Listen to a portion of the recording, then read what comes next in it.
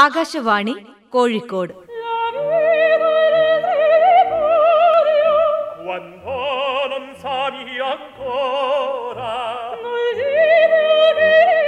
മറുനാടൻ വിശേഷങ്ങൾ.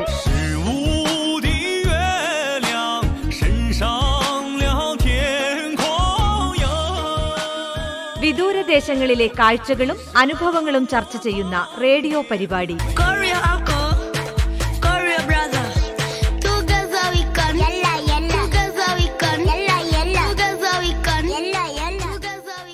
ഇന്നീ പരിപാടിയിൽ ഡോക്ടർ കെ വി തോമസുമായി മാത്യു ജോസഫ് നടത്തുന്ന അഭിമുഖ സംഭാഷണത്തിന്റെ അവസാന ഭാഗം കേൾക്കാം.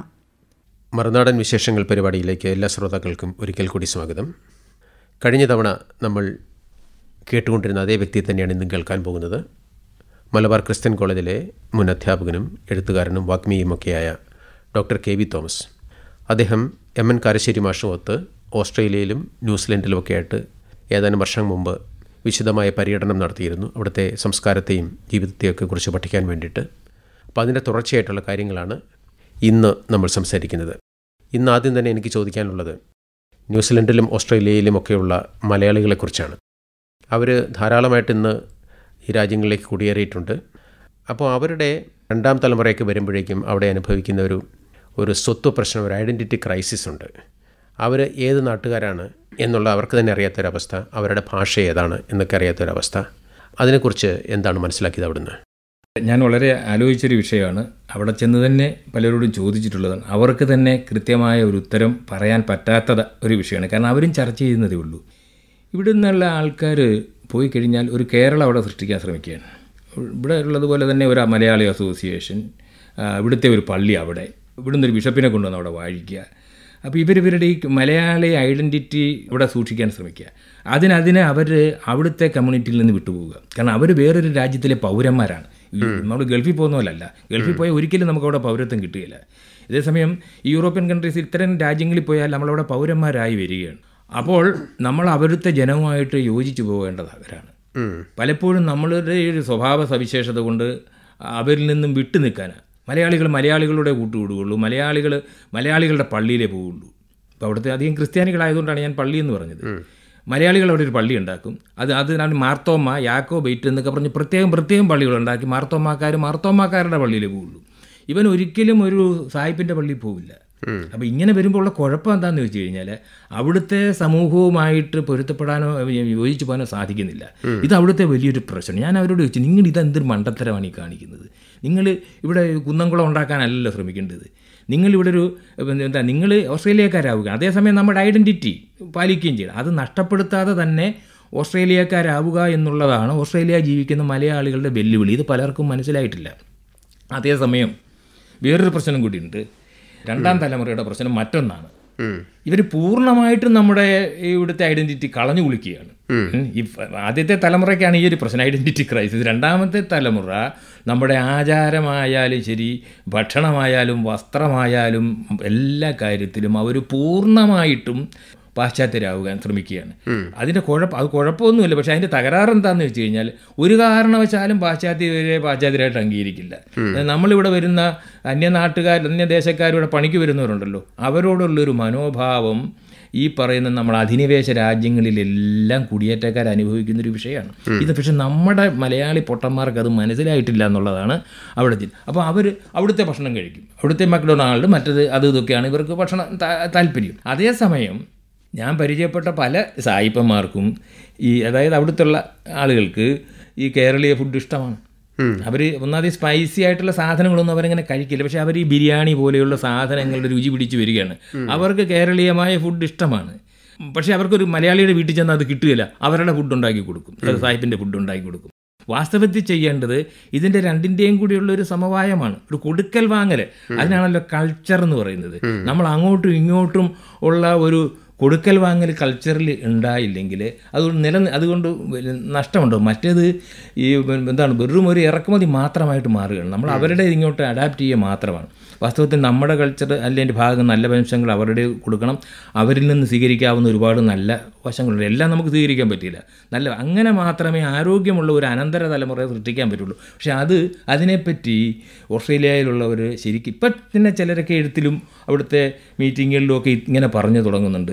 കാരണം അവിടെ കുന്നംകുളം സൃഷ്ടിക്കരുത്. അവിടെ മർത്തോമ സിറിയാനി കൃത്യാനി മറ്റേത് മറിച്ചത് എന്നൊക്കെ പറഞ്ഞുള്ള പള്ളികൾ ഉണ്ടാക്കരുത്. അതായത് നിങ്ങളുടെ കൂടെ ഒരു മറ്റൊരു വിദേശി ഉണ്ടെങ്കിൽ ഒരിക്കലും അവന് മനസ്സിലാവാത്ത ഭാഷയിൽ സംസാരിക്കരുത്. അത് അവനെ എന്താണ് അവമാനിക്കുന്നതിനോ ഏഹ്, നിന്ദിക്കുന്നതിനോ തുല്യമാണ്. അത് മനസ്സിലാക്കാനുള്ള സാമാന്യ ബോധമില്ലാത്ത ഇതാണ് ഈ രണ്ടാം തലമുറയുടെ ഒരു പ്രശ്നം എന്ന് പറയുന്നത്. ഇപ്പോൾ അവരതിനെപ്പറ്റിയൊക്കെ ഗൗരവമായിട്ട് ചിന്തിക്കുന്നുണ്ട്. വേറൊരു തമാശ ഇവിടെ ഉണ്ട്. ഈ ഓസ്ട്രേലിയയിലെ മാതൃഭാഷ നമ്മുടെ മലയാളം സംസാരിക്കുന്നവരുടെ കണക്ക് എടുത്തപ്പോൾ മലയാളമല്ല ഇന്ത്യൻ ഭാഷകൾ സംസാരിക്കുക സർക്കാർ ഇഷ്ടം പോലെ ധനസഹായം കൊടുക്കുന്നുണ്ട്. പക്ഷേ ഒരു നിശ്ചിത ശതമാനമെങ്കിലും മലയാളം സംസാരിക്കുന്നവരുണ്ടെങ്കിൽ മലയാളം പഠിപ്പിക്കാനുള്ള സൗകര്യം ഗവൺമെന്റ് ചെയ്ത് കൊടുക്കും അതിന് പൈസയും കൊടുക്കും. മലയാളം വരെ പഠിപ്പിക്കും. മലയാളം പഠിപ്പിക്കും. അതിനുള്ള ആളെ വെക്കാം അതിനുള്ള പിന്നെ ചെയ്യാം. പക്ഷേ കണക്കെടുത്തപ്പോൾ ഇല്ല. മലയാളികളില്ല. വാസ്തവത്തിൽ അതിന്റെ നാലരട്ടി മലയാളികൾ അവിടെയുണ്ട്. പക്ഷേ എന്താ കാര്യം? ഈ സർവേ എടുക്കാൻ വരുമ്പോൾ സെൻസസ് എടുക്കാൻ വരുമ്പോൾ ഇവർ പറയില്ല എന്റെ മകൻ അല്ലെങ്കിൽ മകൾ മലയാളമാണ് സംസാരിക്കുന്നതെന്ന് പറയാൻ നാണക്കേട്. അതുകൊണ്ട് എന്താ സംഭവിച്ചെന്ന് സംഭവിച്ചതെന്ന് ചോദിച്ചു കഴിഞ്ഞാൽ ഈ വലിയൊരു ധനസഹായം അവർക്ക് നഷ്ടപ്പെട്ടു എന്നുള്ള ഈ ഈ അടുത്ത കാലത്താണ് ഇതിനുള്ള നമ്മുടെ ചില സുഹൃത്തുക്കൾ അതിനുവേണ്ടി വഴിപ്പെടുകയും ഞാൻ അതിന് ചെറിയൊരു എന്നിട്ട് ചില സഹായമൊക്കെ ചെയ്തിട്ടുണ്ട്. കാരണം മലയാള യൂണിവേഴ്സിറ്റിയായിട്ട് ബന്ധപ്പെട്ടിട്ട് ചില ഏർപ്പാടുകളൊക്കെ ചെയ്തിട്ടുണ്ട്. അവരുടെ കോഴ്സിന് മലയാളം യൂണിവേഴ്സിറ്റി അത് ഒരു നിരീക്ഷിക്കാം എന്നൊക്കെയുള്ള ഒരു വ്യവസ്ഥയൊക്കെ ചെയ്ത് അവർക്ക് ഇപ്പം മലയാളത്തിന് അവിടെ ഒരു അംഗീകാരം കിട്ടി. കഴിഞ്ഞ വർഷം കിട്ടിയതേ ഉള്ളൂ. പക്ഷേ മാഷിപ്പോൾ പറഞ്ഞപ്പോൾ അവിടെ എത്തിയ ആദ്യത്തെ തലമുറ മലയാളികൾ എന്നുള്ള ഐഡന്റിറ്റി കാത്തു സൂക്ഷിക്കാൻ വേണ്ടി വളരെയധികം ശ്രമിക്കുന്നു. ആ ഒരു രീതി തുടർന്നുകൊണ്ട് പോകുന്നു. അതൊരു പ്രശ്നമായിട്ട് കാണുന്നു. രണ്ടാമത്തെ തലമുറ ഒട്ടും മലയാളം സംസാരിക്കുന്നില്ല. അല്ലെങ്കിൽ പൂർണമായിട്ടും ആ ഒരു കൾച്ചറിലേക്ക് അലിഞ്ഞു ചേരുന്നു. അതും ഒരു പ്രശ്നം. മൂന്നാമത്തെ തലമുറ വരുമ്പോഴേക്കും എന്തായാലും അതാണ്. കാരണം ഇതിന്റെ ഇടയ്ക്കുള്ള ഇടയ്ക്കാണ് വേണ്ടത്. നമ്മൾ എന്തായാലും നമ്മൾ നൂറ് ശതമാനം സായിപ്പാവാൻ പറ്റില്ല. അതോടൊപ്പം തന്നെ നമുക്ക് നൂറ് ശതമാനം നമ്മളെ പിന്നെ എന്താണ് നമ്മുടെ ഐഡന്റിറ്റി കീപ്പ് ചെയ്യാനും പറ്റില്ല. ഒരു നമ്മളൊരു സമൂഹത്തിൽ ചെല്ലുമ്പോൾ സമൂഹവുമായിട്ട് ഒത്തുപോകണം. ഏത് സമൂഹത്തിൽ നമ്മൾ ജീവിക്കുന്നോ ഒരു ഗീവ് ആൻഡ് ടേക്ക് എന്ന് പറഞ്ഞില്ലേ കൊടുക്കലും വാങ്ങലും നടക്കണം. അപ്പം മാത്രം ആരോഗ്യകരമായ കച്ചവടം ഉണ്ടാവില്ല? കൊടുക്കാൻ മാത്രം അല്ലെ വാങ്ങാൻ മാത്രം ഇരിക്കുന്ന ഏതൊരു സമൂഹവും സാംസ്കാരികമായി നശിക്കും എന്നുള്ളതാണ്. ഇമ്പോർട്ട് മാത്രം ഉണ്ടെങ്കിൽ അത് വിജയിക്കില്ല. സിവിലൈസേഷൻ എന്ന് പറഞ്ഞാൽ കൊടുക്കലും വാങ്ങലുമാണ് ഇമ്പോർട്ട് എക്സ്പോർട്ടുമാണ് ഒക്കെ ആലോചിക്കുന്നുണ്ട്. കാരണം ആദ്യം ചെന്നവർക്കൊന്നും ഇത്തരം കാര്യങ്ങളൊന്നും അല്ല വിഷയം. എങ്ങനെയെങ്കിലും കുറേ പണം ഉണ്ടാക്കുക എന്നുള്ളതായിരുന്നു. ഇപ്പോൾ കുട്ടികൾക്ക് എന്ന് വെച്ചാൽ അവരവിടെ ജനിച്ച് വളർന്നവരാണ്. അതാണ് അവരുടെ പ്രശ്നം. അവർക്ക് ഇവിടെ ഇവിടുത്തെ ഉപ്പുമാങ്ങയോ ഒന്നും അവർക്ക് വിഷയമല്ല. നമ്മുടെ ഊഞ്ഞാലാട്ടമോ പുലിക്കളിയൊന്നും അവരുടെ വിഷയം അവർ കണ്ടിട്ടുമില്ല അവർ കേട്ടിട്ടുമില്ല. പുലിക്കളിയൊന്നും അവർക്ക് വിഷയമല്ല. അവർക്ക് അവിടെ വേറെ കളികളും കാര്യങ്ങളും ഉണ്ട് അവരുടെ താല്പര്യം എങ്ങനെയാണ്? അങ്ങനെ ഒരു അതേസമയം എനിക്കറിയാം ഇംഗ്ലണ്ടിലും മറ്റുമൊക്കെ ഉള്ള എന്റെ ചില സുഹൃത്തുക്കൾ ആ വീട്ടിൽ അവരവരുടെ ഈ കേരളീയമായിട്ടുള്ള കാര്യങ്ങളൊക്കെ പഠിക്കും മലയാളം വീട്ടിൽ പഠിപ്പിക്കുന്ന ആളുകളുണ്ട്. മനം ബോധപൂർവം തന്നെ. അങ്ങനെ അങ്ങനെ ബോധപൂർവം ചെയ്യുന്ന ആളുകളുണ്ട്. നമ്മുടെ ഈ മൂട് മൂ മറ്റേ മറന്നു പോകുന്ന ആളുകൾ ആണിപ്പം ധാരാളമുള്ളത് എന്നുള്ളതാണ് അതിന്റെ വേറൊരു വശം. മറ്റൊന്ന് വലിയൊരു പ്രശ്നം ഇതിന്റെ അത് വരുന്നത് ഈ നമ്മുടെ ഇവിടെയൊക്കെയാണ് വീട്ടിൽ മുത്തച്ഛനോ മുത്തശ്ശിയൊക്കെ ഉണ്ടാവും. അവിടെ നമുക്കിപ്പോൾ അങ്ങനെ വെറുതെ പിന്നെ ഇവരെ കൊണ്ട് പാർപ്പിക്കുന്നത് വലിയ ചിലവാണ് രക്ഷിതാക്കളെ അവിടെ കൊണ്ടുപോയി. അപ്പോൾ അവ അവിടെ നിന്നുള്ള അങ്ങനത്തെയുള്ള ഒരു തന്നെയല്ല രാജ്യങ്ങളിൽ ഗൾഫിലൊക്കെ ആണെങ്കിൽ വീട്ടു ജോലിക്കൊക്കെ ആളെ കൊണ്ടു അവിടെ അതും പറ്റില്ല. ഐ എൽ ടി എസ് പാസ്സായ തൂപ്പുകാരി അവിടെ കിട്ടും. അപ്പോൾ അത് തന്നെയല്ല അത് വലിയ എക്സ്പെൻസീവ് ആണ് ആ, തന്നെയല്ല ഈ വലിയ പിന്നെ അഥവാ ആരുടെയെങ്കിലും രക്ഷിതാക്കൾ അവിടെ പോയിട്ടുണ്ടെങ്കിൽ തന്നെ ഈ കുട്ടികൾ അവിടെ ജനിച്ചു വളർന്നവർ അവർക്ക് ഇവരുമായിട്ട് ഒട്ടും പൊരുത്തപ്പെടുകയില്ല. അതാണ്. ഈ സാംസ്കാരികമായിട്ടുള്ള പ്രത്യേകതകൾ പറിച്ചു നടന്ന കാര്യം പറഞ്ഞപ്പോഴാണ് ഞാനൊരു കാര്യം ഓർത്തത്. ഇപ്പം മലയാളികളുടെ പൊതുവേ ഒരു ശീലമാണ് രാവിലെയും വൈകിട്ടും കുളിക്കുക എന്നുള്ളത്. അപ്പം തണുപ്പ് നാട്ടിൽ ചെല്ലുമ്പോൾ അത് മിക്കവാറും നടക്കില്ല. സായിപ്പന്മാരൊക്കെ കുളി വളരെ കുറവായിരിക്കും എന്നാണ് എനിക്ക് തോന്നുന്നത്. അപ്പോൾ ആ ഒരു പ്രത്യേകത അവരനുഭവിക്കുന്ന അതുപോലെ മാഷക്കൊക്കെ തോന്നിയതും പ്രത്യേകിച്ച് ന്യൂസിലാൻഡിലൊക്കെ ചെന്നിട്ട് ഐസ് വെള്ളത്തിൽ അങ്ങനെ കുളിക്കാൻ പറ്റും? കുളിക്കുക എന്ന് പറഞ്ഞാൽ അവിടെ ചൂടുവെള്ളം കിട്ടുമല്ലോ. എല്ലാ സ്ഥലത്തും ചൂടുവെള്ളം. ഇപ്പോൾ വെച്ചാൽ ന്യൂസിലാൻഡിലായാലും പിന്നെ ഓസ്ട്രേലിയയിലായാലും ജീവിത ചെലവ് വളരെ കൂടുതലാണ്. കാരണം എല്ലാ വീട്ടിലും ഈ ചൂടുവെള്ളത്തിനുള്ള സംവിധാനം ഉണ്ടാകും അത് ഗ്യാസ് ഉപയോഗിച്ചാണ്. കറണ്ട് ഇലക്ട്രിസിറ്റി ഉപയോഗിച്ചല്ല. ഗ്യാസ്. ഗ്യാസ് ഉപയോഗിച്ച് ചൂടാ മുറു- ചൂടാക്കണം. നമുക്ക് കുളിക്കാൻ തോന്നൂല എന്നുള്ളത് വേറൊരു കാര്യം. നമ്മളിവിടെ എന്തുകൊണ്ടാണ് എപ്പോഴും കുളിക്കുന്നത്? ഇവിടെ എപ്പോഴും വേർക്കുന്നുണ്ട്. അവിടെ വേർക്കില്ല. വേർക്കില്ലാത്തതുകൊണ്ട് കുളിയുടെ ഒരു ആവശ്യം വരുന്നില്ല. പിന്നെ കുളിക്കണമെന്നുണ്ടെങ്കിൽ ചൂടുവെള്ളം ഇഷ്ടം പോലെ കിട്ടും. കാരണം അവിടെയാണ് ഒരു ടാപ്പ് ഉണ്ടെങ്കിൽ അവിടെ ചൂടുവെള്ളവും തണുപ്പുവെള്ളവും ഉണ്ടാവും. അപ്പോൾ അത് ഹോട്ടലിലായാലും വീട്ടിലായാലും അതെല്ലാവരും ഒരു മസ്റ്റാണ് അവിടുത്തെ. പിന്നെ വേറൊരു തമാശ ഉണ്ട്. ഈ ന്യൂസിലാൻഡിനെ പറ്റി പറയണമെന്ന് പറഞ്ഞുകൊണ്ടാണ്. ഞാൻ ഈ ചൂടുവെള്ളത്തിന്റെ കാര്യം പറഞ്ഞപ്പോഴാണ്. അവിടെ മവോറികൾ അവിടുത്തെ ആദിവാസികളാണ്. അവിടുത്തെ ന്യൂസിലാൻഡിലെ ആദിവാസികളായിരുന്നു മവോറികൾ. അവരുടെ അവിടെ ചെന്ന് കഴിഞ്ഞാൽ നേച്ചുറലായിട്ടുള്ള ചൂടുകളുണ്ട് അഗ്നിപർവതങ്ങളാണ്. അഗ്നിപർവതങ്ങൾ. ഇപ്പോഴും ഉണ്ട് ഇവിടെ. ഇപ്പോൾ തീയും പുകയൊക്കെ ആയിട്ട് നിൽക്കുന്ന അഗ്നിപർവതങ്ങളുണ്ട്. അവർക്കതൊരു വിഷയമല്ല. കാരണം ഞാൻ പറഞ്ഞല്ലോ ഇവരുടെ സ്വഭാവം ന്യൂസിലാൻഡ് ഓസ്ട്രേലിയയും തമ്മിലുള്ള സ്വഭാവം ഓസ്ട്രേലിയക്കാർ ഭയങ്കര പരി പലരും ഭയങ്കര പരുക്കന്മാരും മറ്റുമൊക്കെയാണ്. ന്യൂസിലാൻഡുകാർ വളരെ സൗമ്യ സ്വഭാവമുള്ളവരാണ്. ഇവിടുത്തെ അഗ്നിപർവതങ്ങൾ വളരെ സൗമ്യമുള്ളവരാണ് അങ്ങനെ പൊട്ടിത്തെറിക്കൊന്നുമില്ല. അവിടുന്ന് ഇടയ്ക്കിടയ്ക്ക് ചൂടുവെള്ളം ഇങ്ങനെ ചീറ്റി വരും. അവിടെ ചൂടുവെള്ളം ഒഴുകും. മാത്രമല്ല അവിടെ ഈ മവോറികളുടെ അവിടെ ചില ഹോട്ടലുകളും മറ്റുമൊക്കെ ഉണ്ട്. അവിടെ ഭക്ഷണം പാകം ചെയ്യുന്നത് ഈ ഇതിന്റെ ഇടയിൽ വെച്ചിട്ടാണ് അഗ്നിപർവതത്തിൽ വെച്ചിട്ടാണ്? അതിന്റെ മണ്ണ് അങ്ങോട്ട് മാറ്റിയിട്ട് അങ്ങോട്ട് കോഴിയാക്കി അങ്ങ് വെച്ചു. നമ്മുടെ മന്തി എന്നൊക്കെ പറയല്ലേ? മന്തി. ഏ ഏ, ആ കോഴിയെ വെച്ച് അതിന്റെ അത് ചുട്ടെടുത്ത് തരും. ചുടാനുള്ള മുട്ടയൊക്കെ പുഴുങ്ങണമെങ്കിൽ വെറുതെ ആ വെള്ളത്തിലോട്ട് ഇട്ടാൽ മതി. കാരണം വെള്ളം തിളച്ച് കിടക്കില്ലേ അങ്ങോട്ട് ഇട്ടാൽ മതി. അപ്പോൾ തീയുടെ ആവശ്യമില്ല. തീയുടെയോ മറ്റു ഇന്ധനത്തിന്റെ ആവശ്യമില്ല. ചൂടുവെള്ളം അവിടെ ഇഷ്ടം പോലെ കിട്ടും. മാത്രമല്ല വലിയ നാൽപ്പത് അടി മീറ്ററൊക്കെ പൊക്കത്തിൽ ചീറ്റുന്ന ഉറവകളൊക്കെ ഉണ്ട് അവിടെ. വെള്ളം ഇങ്ങനെ ചീറ്റിക്കൊണ്ടിരിക്കുന്നത്. അത് ചൂടുവെള്ളമാണ്. ചൂടുവെള്ളം ചൂടുവെള്ളം ചീറ്റുന്ന. അവിടെ മുഴുവൻ ഈ മവോറികളുടെ ചൂടുവെള്ളത്തിൽ ചൂടുവെള്ളത്തിൽ കുളിക്കാൻ. കുളിക്കാൻ നല്ല ചൂടായിരിക്കും അത്. പിന്നെ അവരവിടെ കുളങ്ങൾ ഈ ചൂടുവെള്ളവും തണുപ്പുവെള്ളവും കൂടെ മിക്സ് ചെയ്തിട്ട് അവിടെ ചില കുളങ്ങളൊക്കെ നമുക്ക് സഞ്ചാരികൾക്ക് വേണ്ടിയിട്ട് ഒരുക്കിയിട്ടുണ്ട്. ഈ ചൂടുവെള്ളത്തിൽ നമ്മൾ ബന്ധു പോകും അവർ ഈ രണ്ട് വെള്ളം കൂടി അങ്ങോട്ട് മിക്സ് ചെയ്തിട്ട് നമുക്കവിടെ കാലൊക്കെ ഇട്ടിരിക്കുക. അപ്പോൾ ഈ വാദത്തിനും മറ്റുമൊക്കെയുള്ള പൊതുവെ റോട്ടറുവ അഗ്നിപർവത പ്രദേശമുണ്ട് അവിടുത്തെ ഈ അന്തരീക്ഷത്തിനൊക്കെ ഒരു കെമിസ്ട്രി ലാബിന്റെ അടുത്തൂടെ പോയ ഒരു മണമില്ലേ? സാഹിത്യ സൾഫൈഡിന്റെ ആ മണമാണ് ആ പ്രദേശം മുഴുവൻ. റോട്ടറുവ എന്ന് പറയുന്നത് ഒരു ന്യൂസിലാൻഡിന്റെ ന്യൂസിലാൻഡിന്റെ ഒരറ്റത്തുള്ള ഒരു പിന്നെ ഇത് ഇവരുടെ ഗ്രാമമാണ്. ഈ ആദിവാസികളുടെ മവോറികൾ എന്നാണ് പറയുന്നത്. ആ അവിടുത്തെ ഒരുപാട് വർഗക്കാരുണ്ട്. അവരുടെ മൊത്തത്തിൽ അതിന്റെ ഒരുപാട് ഗോത്രങ്ങളുണ്ട്. അവരുടെ ഗ്രാമമാണ്. അവർക്ക് അവകാശങ്ങളൊക്കെ ഉണ്ട്. അവരുടെ ഗ്രാമത്തിൽ പ്രത്യേക അത് ഓസ്ട്രേലിയയിലും ഉണ്ട് കേട്ടോ. ഞാൻ നേരത്തെ ഓസ്ട്രേലിയയിലെ കാര്യം പറഞ്ഞപ്പോൾ അവിടെ ആദിവാസികളെ കൂട്ടക്കൊല ചെയ്തു എന്നെല്ലാം പറഞ്ഞല്ലോ. അപ്പം അങ്ങ് ആദിവാസികൾ വളരെ അവരെ മൂന്ന് ലക്ഷം ഉണ്ടായിരുന്നത് രണ്ടായിരത്തി ഇരുപത്തിനാലായപ്പോൾ അറുപതിനായിരമായി എന്ന് കുറഞ്ഞു. അപ്പോൾ അതിന് വേണ്ടിയിട്ട് അവസാനം അവർക്ക് പാശ്ചാത്യർക്കൊരു ഓസ്ട്രേലിയക്കാർക്കൊരു കുറ്റബോധം തോന്നിയിട്ട് രണ്ടായിരത്തി എട്ടിൽ അവിടുത്തെ പ്രധാനമന്ത്രി കെവിൻ റെഡ് ഒരു പ്രഖ്യാപനം ഇറക്കി. ഇവർക്ക് വേണ്ടി മുൻഗണന ചില ലിസ്റ്റൊക്കെ ഉണ്ടാക്കി. മാത്രമല്ല അവരോട് പരസ്യമായിട്ട് മാപ്പ് ചോദിച്ചു. ഓസ്ട്രേലിയൻ ആദിവാസികളോട് മാപ്പ് ചോദിച്ചു. ഞാൻ മാത്രമല്ല അവിടെ എല്ലാ പരിപാടിക്കും അവരുടെ ദേശീയ ഗാനം അവരുടെ ഒരു പാട്ടുണ്ട് അത് പാടും. അത് ന്യൂസിലാൻഡിലും ഉണ്ട് ഈ ദേശീയ ഗാനം രണ്ടുണ്ട് അവിടെ ന്യൂസിലാൻഡിൽ ന്യൂസിലാൻഡിൽ രണ്ടല്ല മൂന്നുണ്ടെന്ന് പറയാം.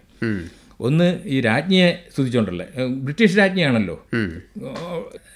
Head of the state head of the state British രാജ്ഞിയാണ്. അപ്പോൾ അവരെ സ്തുതിച്ചുകൊണ്ടുള്ളതുണ്ട് പിന്നെ ന്യൂസിലാൻഡിനെ സ്തുതിച്ചുകൊണ്ടുള്ള ദേശീയ ഗാനമുണ്ട്. പിന്നെ ഇതിന്റെ ഒരു മവോറി വേർഷനും ഉണ്ട് വേറൊരു പ്രത്യേകത ഈ രണ്ട് രാജ്യങ്ങൾക്കും ഒരു ഇവർക്ക് ഈ സ്വാതന്ത്ര്യദിനം ഇല്ല. നമുക്കൊരു സ്വാതന്ത്ര്യദിനം എന്ന് പറഞ്ഞിട്ടുണ്ടല്ലോ. അങ്ങനെ ഒരു ഡേ അവർക്ക് സ്വാതന്ത്ര്യം വേണ്ട. അല്ല അവർ ബ്രിട്ടീഷ് രാജ്യമാണ്. അവർക്ക് നമ്മുടെ ഈ പറയുന്ന ഒരു ഇൻഡിപെൻഡൻസ് ഡേ എന്ന് പറഞ്ഞൊരു സാധനം ഈ രണ്ട് രാജ്യങ്ങൾക്കും ഇല്ല എന്നുള്ളതാണ്. അല്ല ഇവരുടെ ഈ രണ്ട് രാജ്യത്തിന്റെ പ്രത്യേകത അവർക്ക് പ്രസിഡന്റ് ഇല്ല എന്നുള്ളതാണല്ലോ. അതായത് റിപ്പബ്ലിക് അല്ല റിപ്പബ്ലിക് അല്ല അത് കാരണം രാജ്ഞിയാണ്. രാജ്ഞിയാണ് ഹെഡ് ഓഫ് ദ സ്റ്റേറ്റ് രാജ്ഞിയാണ് ഹെഡ് ഓഫ് ദ സ്റ്റേറ്റ് പിന്നെ ബാക്കി പിന്നെ ഇതാണ്. അതുകൊണ്ട് കോൺവെൽത്തിലെ അംഗങ്ങളാണല്ലോ.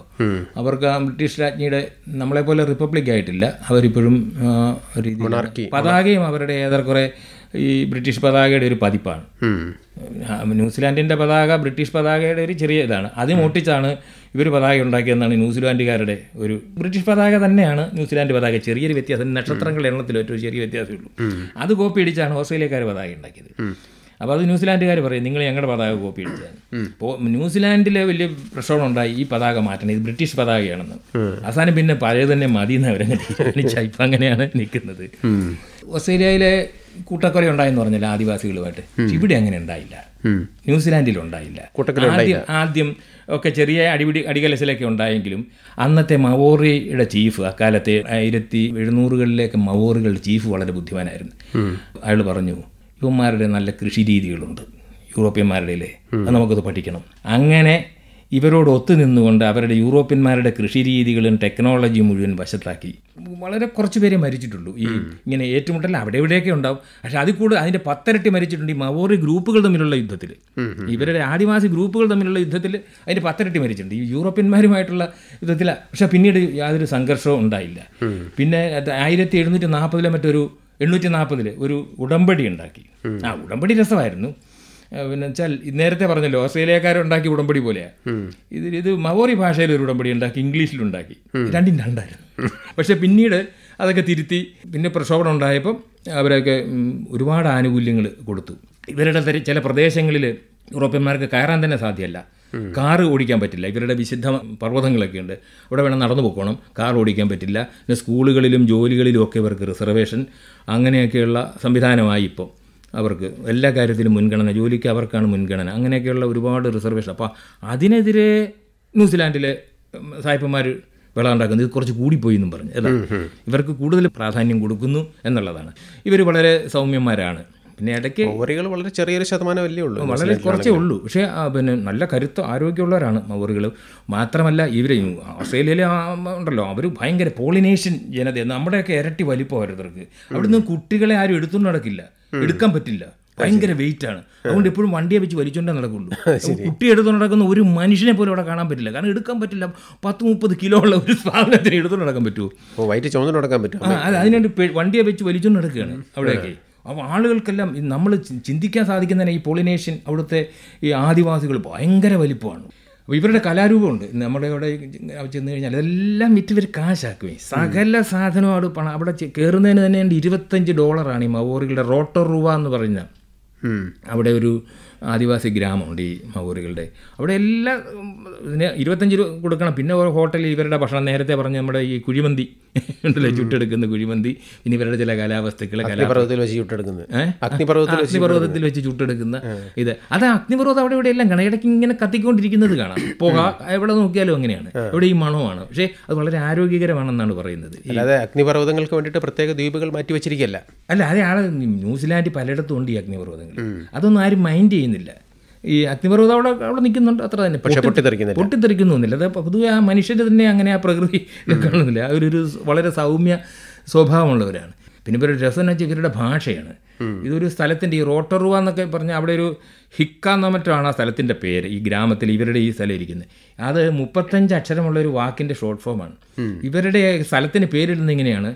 ഇന്നിടത്ത് ഇന്നയാൾ ഇന്നിടത്ത് പോയപ്പോൾ കുറേ നേരം ഈ വിശ്രമിച്ച സ്ഥലം എന്നൊക്കെ പറഞ്ഞിട്ടാണ് ആ സ്ഥലത്തിന്റെ പേരിടുന്നത്. അതുകൊണ്ട് മലയാള ലോകത്തിലെ ഏറ്റവും നീളം കൂടിയ പിന്നെ വാക്ക് ഇത്തരം ഒരു മവോറി വാക്കാണ്. അതുകൊണ്ട് എഴുന്നൂറ്റി ചില്ലുവാൻ അക്ഷരങ്ങളുണ്ട് അതിനകത്ത്. ഇത് ഒരു ഒരു കഥ പോലെയാണ് ഈ സ്ഥലത്തിന്റെ പേര്. ലിപിയുണ്ടോ? ലിപിയുണ്ടോ? ലിപി ലത്തീൻ ലിപിയാക്കിയത്. അടുത്ത കാലം വരെ ലിപി ഇല്ലായിരുന്നു. അത് പിന്നീട് പിന്നെ അത് ലത്തീൻ ലിപി ഇപ്പം ലിപിയുണ്ട്. ലത്തീൻ ലിപിയാന്ന് മാത്രം. അങ്ങനെ മാറ്റിയിട്ടുണ്ട് ഇപ്പോൾ അതിനൊക്കെയുള്ള സംവിധാനങ്ങൾ അവർ കുറച്ച് വിദ്യാസമ്പന്നരൊക്കെ ആയപ്പോൾ അവരതിനുള്ള സംവിധാനങ്ങളൊക്കെ ചെയ്യുന്നുണ്ട്. ഇവരുടെ തന്നെയല്ല ഇവർക്ക് ഒരുപാട് ആനുകൂല്യങ്ങളൊക്കെ സർക്കാർ നില കൊടുക്കുന്നത് കൊണ്ട് അവിടെ വളരെ ഹാപ്പിയാണ് അവരൊക്കെ. നമ്മളിപ്പോൾ ഒരു സംസ്കാരത്തെ മനസ്സിലാക്കുക എന്ന് പറയുമ്പോൾ ഒരു സാംസ്കാരിക സവിശേഷതകൾ കൂടുതലും ഇപ്പോൾ വിവാഹം മരണം മുതലായിട്ടുള്ള ആ, അവസരങ്ങളിലൊക്കെയാണ് കാണപ്പെടുന്നത്. ഓരോ രാജ്യത്തെ ഓരോ സംസ്കാരം നമ്മുടെ രാജ്യത്ത് തന്നെ നല്ല നമ്മുടെ ഒരു സ്റ്റേ ചെറിയ സ്റ്റേറ്റിൽ തന്നെ വ്യത്യസ്ത മതങ്ങളിൽപ്പെട്ടവരോ വ്യത്യസ്ത ജാതികളിൽപ്പെട്ടവരുടെ മരണ അനന്തര ചടങ്ങുകളൊക്കെ വ്യത്യസ്തമായിരിക്കും. അപ്പോൾ അവിടുത്തെ മരണാനന്തര ചടങ്ങുകളെക്കുറിച്ചൊക്കെ അത് ഒരു ഒരു ഒരു അനുഭവം. എന്റെ ഒരു സുഹൃത്ത് അയാൾ പറഞ്ഞത് ഞാൻ അയാളുടെ വീട്ടിൽ കുറച്ച് ദിവസം താമസിച്ചു. അയാൾ അവിടെ ചെന്ന ഒരു കോളനിയിൽ ഇങ്ങനെ താമസ കോളനി പോലെയാണ്. ഒരു പത്ത് പതിനഞ്ച് നമ്മുടെ ഇവിടുത്തെ കണക്ക് പറഞ്ഞാൽ ഒരു പതിനഞ്ച് സെന്റ് സ്ഥലം കാണും.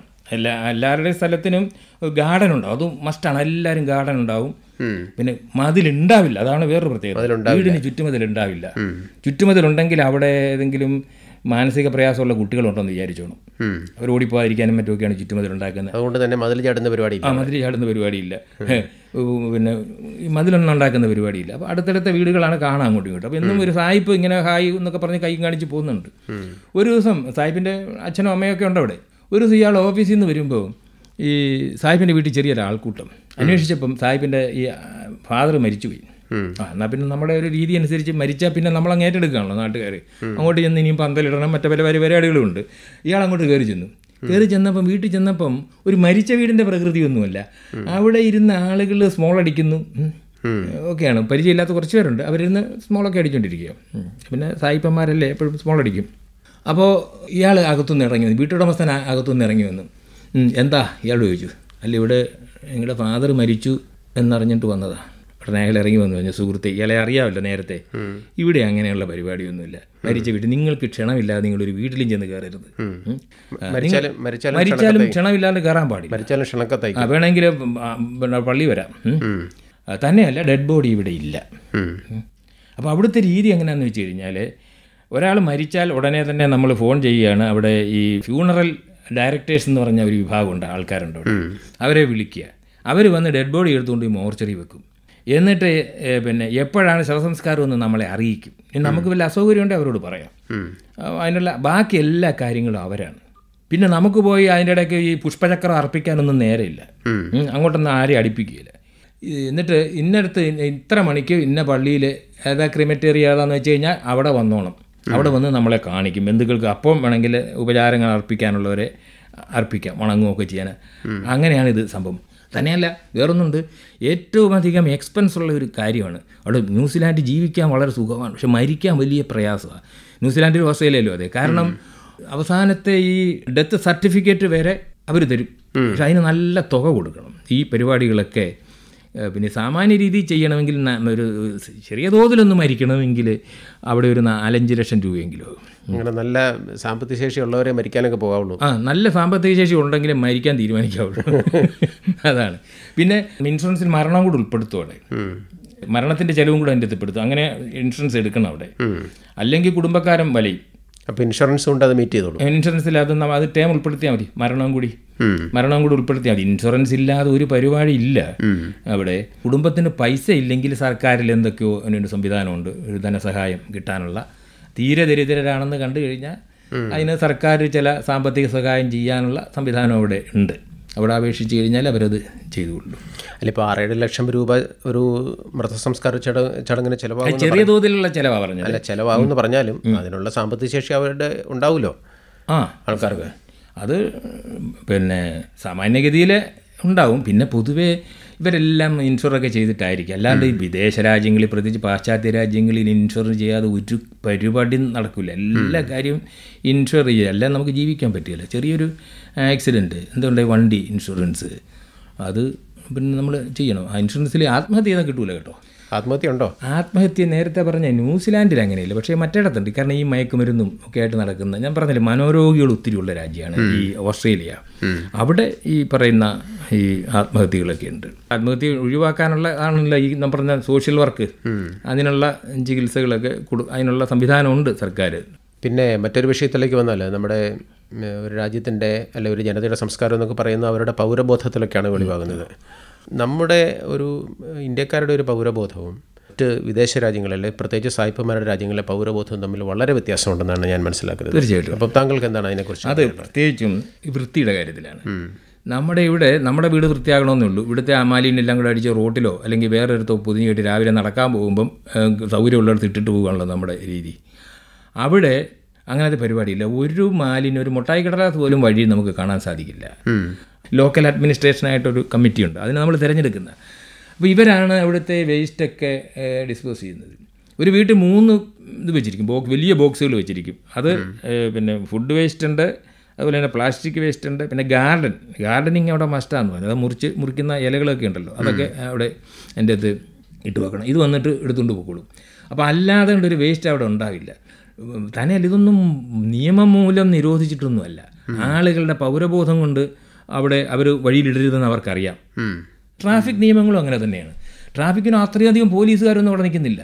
അവരങ്ങ് അനുസരിക്കുകയാണ്. പിന്നെ അനുസരിക്കാതിരിക്കുന്ന ഞാൻ കണ്ടത് മലയാളികളാണ് അതിലൊരു വിദ്വാൻ എനിക്കൊരു പണി പറഞ്ഞു. കാരണം ഇവിടെ ഈ ട്രാഫിക് ചിലയിടത്തൊക്കെ ഫ്രീ ആണ് പാർക്കിംഗ്. ചിലയിടത്ത് രണ്ട് മണിക്കൂർ പാർക്ക് ചെയ്യാം. അത് കഴിഞ്ഞാൽ പിന്നെ പൈസ കൊടുക്കണം. ചിലയിടത്ത് പാർക്ക് ചെയ്താൽ ഫൈൻ ഉണ്ടാവും. അപ്പോൾ ഈ വിദ്വാൻ ഒരിക്കലും ഈ ടിക്കറ്റ് എടുത്തിട്ട് പാർക്ക് ചെയ്യില്ല. ഞാൻ ചോദിച്ചപ്പോൾ പറഞ്ഞു ഈ പത്ത് തവണ പാർക്ക് ചെയ്താൽ രണ്ട് തവണ മിക്കവാറും പിടിക്കുള്ളൂ. ആ പൈസ ലാഭം മറ്റേത് പത്ത് തവണ പാർക്കിംഗ് ഫീസ് കൊടുക്കുന്നതിനേക്കാൾ ലാഭം രണ്ട് തവണ ഫൈൻ അടയ്ക്കുന്നതാണ്. ഇതാണ് പിന്നെ പുള്ളി പറഞ്ഞത്. നമ്മുടെ മലയാളികളുടെ കുരുട്ട് ബുദ്ധിയാണ്. സായിപ്പ് പൗരബോധം ഉപയോഗിക്കുമ്പോൾ നമ്മൾ നമ്മുടെ തരികിട ബോധം തരികട തരികടയാണ്. അതിന്റെ അകത്ത് നിന്ന് എങ്ങനെ ലാഭം ഉണ്ടാക്കാവുന്നതാണ് നമ്മളാണ് ഞാൻ ബുദ്ധിമാനാണല്ലോ മിടുക്കനാണല്ലോ മിടുക്കനാണ്. സ്വയം മിടുക്കാണിക്കാൻ. ശ്രമിക്കുക. അവരെന്ന് വെച്ചാൽ ഓ, ഉച്ച മറ്റുള്ളവർക്ക് അലോസരം ഉണ്ടാകുന്ന ഒന്നും ചെയ്യില്ല ഉച്ചത്തിൽ സംസാരിക്കില്ല. അവനവന്റെ കാര്യം നോക്കി. വേറൊരാളുടെ കാര്യത്തിൽ അനാവശ്യമായിട്ട് നേരത്തെ പറഞ്ഞു ഈ മരിച്ച വീട്ടിൽ ചെന്ന് അവിടെ ക്ഷണിച്ചില്ല ചെല്ലരുത്. ഇപ്പോൾ അവിടത്തേക്ക് ആളുകളൊക്കെ ഇപ്പം നമ്മളതിലെ പോകുമ്പോൾ വിവസ്ത്രരായിട്ട് പെണ്ണുങ്ങളൊക്കെ വഴി കിടക്കുന്നതാണ്. ആരും അവിടെ തിരിഞ്ഞ് നോക്കി നിൽക്കില്ല ബീച്ചിലൊക്കെ ചെന്ന് കഴിഞ്ഞാൽ ഇഷ്ടം പോലെ നൂട് ബീച്ചുകളൊക്കെ ഉണ്ട്. അവിടെ ഒന്നും ആരും തിരിഞ്ഞ് നോക്കില്ല നമ്മുടെ ഇവിടുത്തെ പോലെ ഇവിടെ ആണെങ്കിൽ അങ്ങനെ ചിന്തിക്കാൻ സാധിക്കില്ല. അതൊക്കെ അവരുടെ സൗകര്യമാണ് നമ്മുടെ കേരളത്തിൽ ഇപ്പോൾ ഒരു തെരഞ്ഞെടുപ്പ് നടക്കുകയാണെന്നുണ്ടെങ്കിൽ ഉടനെ തെരഞ്ഞെടുപ്പ് നടക്കുന്ന കാലത്തും അത് കഴിഞ്ഞിട്ടുള്ള കാലത്തും ഒക്കെയല്ല അറിയാം. ഇതികൾ മതിലുകൾ മുഴുവൻ പോസ്റ്ററുകളായിരിക്കും. തമിഴ്നാട്ടിൽ പോലും അത്രയൊന്നും ഇല്ലെന്ന് എനിക്ക് തോന്നുന്നു. ഞാൻ കണ്ടിടത്തോളം ഈ ഇത്രയ്ക്കധികം പോസ്റ്ററുകൾ പതിക്കുന്നുണ്ടായിട്ട് അപ്പം നമ്മുടെ അവിടത്തേക്ക് തിരഞ്ഞെടുപ്പിലുള്ള രീതികൾ എങ്ങനെയായിരുന്നു അത് ചോദിച്ചത് നന്നായി. കാരണം ഞാൻ മെൽബണിൽ ചെല്ലുമ്പം അവിടെ തിരഞ്ഞെടുപ്പാണ്. വിക്ടോറിയ സ്റ്റേറ്റ് അതാണ് നമ്മുടെ ഇവിടെ കേരളം തമിഴ്നാട് എന്നൊക്കെ പറയുന്ന പോലെ അവിടെ വിക്ടോറിയ സ്റ്റേറ്റിലാണ് അതിന്റെ തലസ്ഥാനമാണ് മെൽബൺ. അപ്പോൾ അവിടെ തിരഞ്ഞെടുപ്പാണ്. ഞാനിങ്ങനെ ഞാൻ ഇങ്ങനെ വെറുതെ ഇങ്ങനെ അവിടുത്തെ പാർലമെന്റ് ഒന്ന് കാണാമെന്ന് വിചാരിച്ച് അതിൽ ചെല്ലുമ്പോൾ അതിന്റെ മുന്നേ കുറച്ച് പേര് കുത്തിയിരിക്കുന്നു. എന്താ എന്തോ സമരമാണ്. ഞാൻ ചെന്ന് ചോദിച്ചു എന്താ സമരം? അപ്പോൾ അവിടെ പോസ്റ്ററൊക്കെ എടുത്ത് കാണിച്ചു. അവിടെ ഹൗസിംഗ് എന്തോ അവിടെ നയത്തെ പറ്റിയുള്ള സമരമാണ്. എന്തോ പഴയ എന്തോ ഇതിന്റെ ചാർജ് കുറയ്ക്കണമെന്നോ കൂട്ടണമെന്നോ മറ്റേ പറഞ്ഞിട്ടുള്ള ഒരു സമരമാണ്. അവർ അപ്പോൾ അവന് കേക്കൊക്കെ മുറിച്ചിട്ടാണ്. ചെല്ലുന്നവർക്കെല്ലാം കേക്കൊക്കെ കൊടുക്കും. എനിക്കും തന്ന്. നമ്മുടെ കൂടെ ഒന്ന് ഫോട്ടോയൊക്കെ എടുത്ത് വളരെ ഹാപ്പിയാണ് ഞാൻ ചോദിച്ചു ഇപ്പോൾ എന്താ ഇപ്പം ചെയ്യാൻ കാരണം? അത് ഇപ്പോൾ ഞാൻ അയാൾ പറഞ്ഞത് ഇപ്പോൾ ഇലക്ഷൻ കാലമാണ്. അടുത്ത ആഴ്ച ഇവിടെ ഇലക്ഷനാണ് അപ്പോഴാണ് ഞാൻ അറിയുന്നത് ഇവിടെ ഇലക്ഷനാണെന്ന് കാരണം അവിടെ ഓസ്ട്രേലിയ അവിടെ ഒരു സ്റ്റേറ്റ് ഇലക്ഷൻ നടക്കുകയാണ്. അവിടെ ആകെ കൂടി പത്ത് പന്ത്രണ്ട് പേര് അവിടെ വേറൊരു കാര്യം പറഞ്ഞു. ഇലക്ഷൻ കാലത്തെങ്കിലും പരിഗണിക്കുമെന്ന് പറഞ്ഞ് സമരത്തിന് ഇരിക്കുക അല്ലാണ്ട് അവിടെ ഒരു തെരഞ്ഞെടുപ്പ് യോഗമോ ഒരു പ്രകടനമോ ഒന്നും കാണാൻ പറ്റില്ല. അവിടെ ഇല്ല അങ്ങനെ ഒരു പരിപാടിയില്ല. ജാഥയില്ല പ്രകടനമില്ല. ആകെക്കൂടി ഞാനവിടെ താമസിച്ച കാലത്ത് ഒരു പ്രസംഗമാണ് കേട്ടത്. അവിടെ ഇതെന്താ സംഭവം എന്നറിയാമെന്ന് ഇപ്പം ചൈനയ്ക്കെതിരെയാണ് പ്രസം- പ്രസം- പ്രസംഗിക്കുന്നത്. ചൈന അമേ ഓസ്ട്രേലിയയുടെ ആസ്ട്രേലിയയുടെ സാമ്പത്തിക കാര്യങ്ങളിലെല്ലാം ഇടപെടും അത് വാസ്തവമാണ് കേട്ടോ. ചൈന ന്യൂസിലാൻഡിലും ഇവിടെയൊക്കെ എല്ലാ ബിസിനസ്സിലും ചൈന പിടിച്ചടക്കിക്കൊണ്ടിരിക്കുകയാണ്. അവിടുത്തെ കെട്ടിടങ്ങൾ മിക്കവാറും പിന്നെ ഇത് വാടകയ്ക്ക് എടുക്കുന്നത് ചൈനക്കാരാണ്. ബിസിനസ് ബിസിനസ് രംഗം അവർ കീഴും. അപ്പം സാമ്പത്തികമായി ചൈനയുടെ പിടിവൽ പിടിയിലാണ് എന്നുള്ളതൊക്കെയാണ് ആ പ്രസംഗത്തിന്റെ ഉദ്ദേശം. അതല്ലാതെ കണ്ട് ഒരു ബഹളവും അവിടെ കേൾക്കാനില്ല. ഇലക്ഷൻ ആണെന്നൊരു തോന്നലും ഉണ്ടാവില്ല. മാത്രമല്ല വേറൊരു തമാശ ഉണ്ട് ഞാൻ താമസിച്ച വീട്ടിലെ സുഹൃത്തിന് ഈ ഇലക്ഷനിൽ നിൽക്കാൻ പറ്റില്ല. അയാൾക്ക് അതിന് മുമ്പേ പോകണം ഞങ്ങൾ ഒന്നിച്ചാണ് മടങ്ങുന്നത് പിന്നെ അല്ല പിന്നെ ആ ഒന്നിച്ചാൽ മുടങ്ങുന്നത് വോട്ട് ചെയ്യാൻ പറ്റില്ല അപ്പോൾ വോട്ട് ചെയ്യാൻ പറ്റില്ലല്ലോ അതിനെച്ചാൽ നേരത്തെ വോട്ട് ചെയ്യാം. അതിനുള്ള സംവിധാനം ഉണ്ടോ ഇവിടെ നിങ്ങൾക്ക് ഇപ്പോൾ അന്ന് ഇപ്പം പതിനഞ്ചാം തീയതിയാണ് ഇലക്ഷൻ എങ്കിൽ നിങ്ങൾക്ക് പത്താം തീയതി പോകണം. പത്താം തീയതി പോവാം വോട്ട് ചെയ്തിട്ട് പോവാം. അതിന്റെ അപേക്ഷ കൊടുത്താൽ മതി. നിങ്ങൾക്ക് പത്താം തീയതി വോട്ട് ചെയ്യാൻ സമ്മതിക്കും. പക്ഷേ വോട്ട് ചെയ്യാതെ പോകാൻ പറ്റില്ല. വോട്ട് ചെയ്യാതെ പോയാൽ നൂറ്റമ്പത് ഡോളർ പിഴയുണ്ട്. ആൾക്ക് അതവിടെ നിർബന്ധം. അതാണ് അവിടുത്തെ. അപ്പം ഇലക്ഷനൊന്നും ജനങ്ങൾക്ക് ഈ ശല്യം ഉണ്ടാക്കിയില്ല. അപ്പോൾ ഒരു പോസ്റ്റർ ഒരിടത്തും കാണുകയില്ല പക്ഷേ അപ്പോൾ എങ്ങനെ ഈ പാർട്ടികളുടെ സന്ദേശങ്ങൾ അവരുടെ പ്രകടന പത്രികളെല്ലാം തന്നെ അവരുടെ വാഗ്ദാനങ്ങൾ എങ്ങനെ ജനങ്ങളിലേക്ക് എത്തിക്കും? അതൊക്കെ സോഷ്യൽ മീഡിയ വളരെ സോഷ്യൽ മീഡിയ. Social media. പത്രങ്ങൾ പോലും ഇല്ല അതായത് ഞാൻ താമസിച്ച ഒരു വീട്ടിലും പത്രം വരുത്തുന്നില്ല. പക്ഷേ ഓൺലൈൻ പത്രങ്ങളുണ്ട്. ഓൺലൈൻ വഴി ഞാൻ എനിക്ക് ഞാനൊരു പത്രം ഓസ്ട്രേലിയൻ പത്രങ്ങൾ കുറച്ച് കളക്ട് ചെയ്യണമെന്ന് വിചാരിച്ചിട്ട് ഒന്നും കാണുന്നില്ല. അവസാനം കാരശ്ശേരി മാഷ എവിടെ പോയി വന്നപ്പോൾ ഒരു അത്ഭുത വസ്തു കണ്ടുവരുന്നുണ്ട് എവിടെ കിട്ടി എന്നും പറഞ്ഞ് എവിടുന്ന് പുള്ളി ഈ ഡിപ്പാർട്ട്മെന്റ് സ്റ്റോർ സ്റ്റോറിലൊക്കെ പോയാൽ പത്രങ്ങൾ അവിടെ കാണും. അല്ലെ ഹോട്ടലുകളിൽ ചെന്ന് അവിടെ കാണും. അങ്ങനെയുള്ള സ്ഥലത്ത് മാത്രമേ ഈ പത്രങ്ങളുള്ളൂ. അപ്പോൾ അവിടുന്ന് പുള്ളി രണ്ട് പത്രം വാങ്ങി എനിക്ക് കൊണ്ട് തന്നു. അങ്ങനെയാണ് ഒരു പത്രം. അല്ലാതെ ഒരു രാവിലെ സൈക്കിളിൽ ഇങ്ങനെ വന്നിട്ട് പത്രം ഇടുന്ന പരിപാടി അവിടെയൊന്നും ഇല്ല ന്യൂസിലാൻഡിന്റെ ഒരു അവരുടെ ഒരു പരസ്യവാചകം തന്നെ സെൻ പെർസെന്റ് പ്യുവർ എന്നുള്ളതാണ്. അതിന്റെ ഏറ്റവും നല്ല ഒരു തെളിവ് ആ ഓക്ലാൻഡ് പിന്നെ വിമാനത്താവളത്തിൽ ഞാൻ ചെന്നപ്പം അവിടെ ഒരു സാധനം വിൽക്കാൻ വെച്ചിരിക്കുന്നു.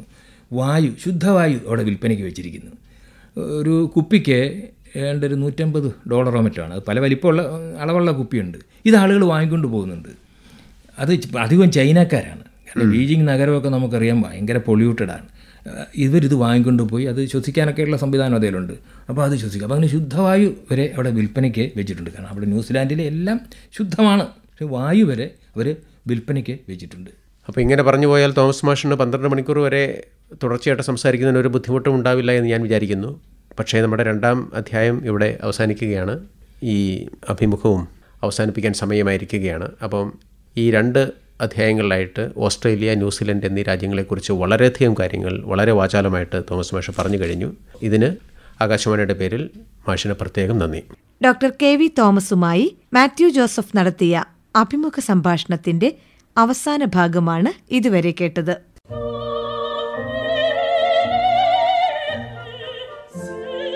മറുനാടൻ വിശേഷങ്ങൾ ഇന്ന് ഇവിടെ വരെ.